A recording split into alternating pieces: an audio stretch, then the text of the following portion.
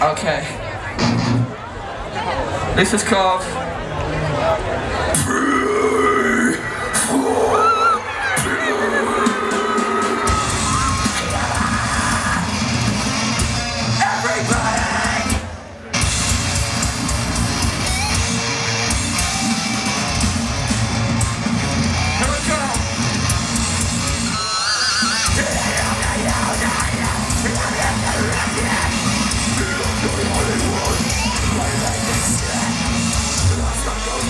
It's okay.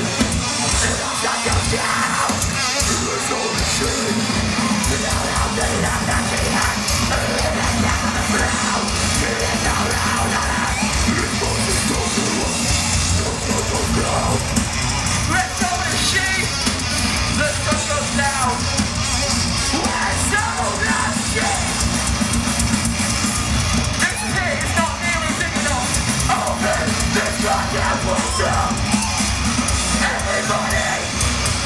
violent.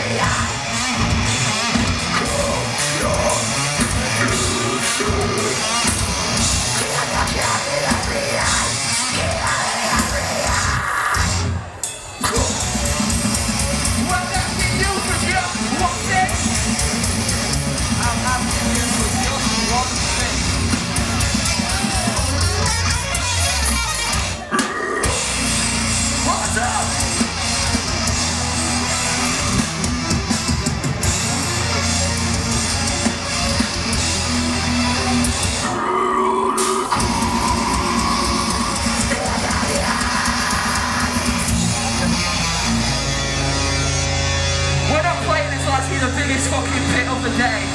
To open this goddamn place up right?